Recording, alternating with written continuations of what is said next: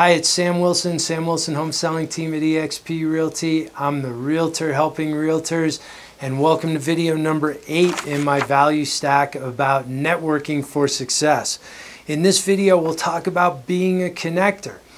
So if you're truly a networker, remember a network is a series of events that get a product to market, then you also have to be willing to be a connector. It's not just about you know, constantly asking for business or offering your services to people you know.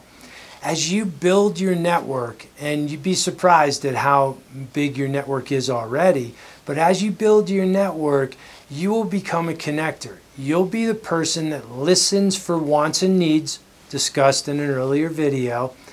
And when you hear various wants and needs, you'll be able to connect people to other people in your network. Remember, people do business with people they trust to make them look good. So when you're building your network, you're looking for people that you feel confident to refer.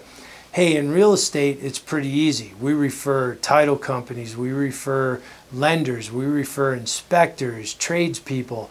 There's all kinds of connections that we make um, with people we meet. But what about this? What about something that has nothing to do with real estate, nothing to do with you? It's all about them. You're listening for wants and needs, and you find out that you know they um, have a real need for financial planning for retirement, as one example. Chances are you've built out your network so that you have a financial planner that you feel comfortable referring them to. And let's face it, financial planners aren't going to help them in any way with their real estate except the value of it in their portfolio. Um, we'll get to that at another time. But here's the point is you just made a connection for somebody to somebody else you know and trust. They will remember you forever as long as, as a connector, you follow up on that connection. So a few days later, you know, hi, I connected you with my financial planner the other day. Of course, you'd be using, you know, first names and such. But I just wanted to follow up and see how that went. You know, did they call you? Did you call them? How was your first conversation with them?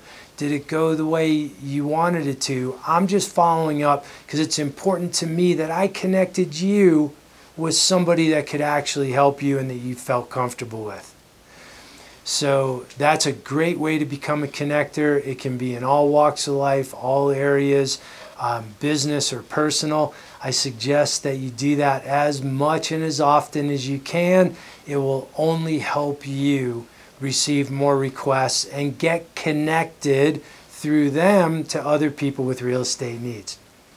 All right, hope that makes sense. Hope that added some value for you.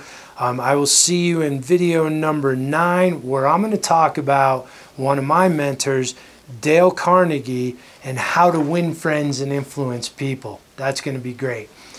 I'm Sam Wilson, Sam Wilson Home Selling Team at eXp Realty, the realtor helping realtors, and I'll see you over there in that next video.